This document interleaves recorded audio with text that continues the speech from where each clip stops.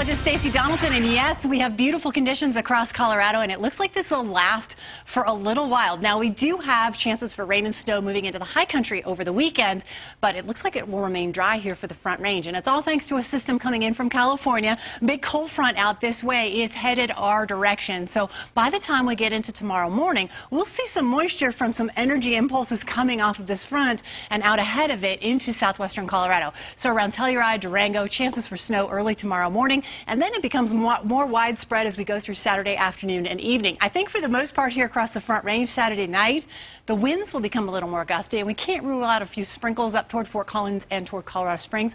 But for the most part, I think this is going to die out pretty quickly and move on. So we are left with some beautiful weather for Sunday and into Monday as well. There is, however, another system coming our way straight from California for the middle of next week. But our lows for tonight will mostly be in the 30s here for the Front Range, 20s and 30s for the higher elevations, and for the western slope temperatures in the 40s. If you're in southeastern Colorado, we'll have 30s for you as well. Tonight, 39 degrees for your overnight low here in Denver, mostly clear skies, and then tomorrow, upper 60s during the day once again. A little windy at times as that system comes on through Colorado.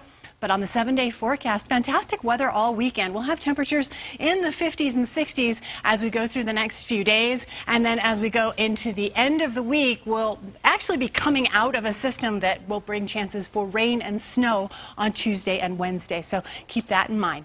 I'm meteorologist Stacy Donaldson.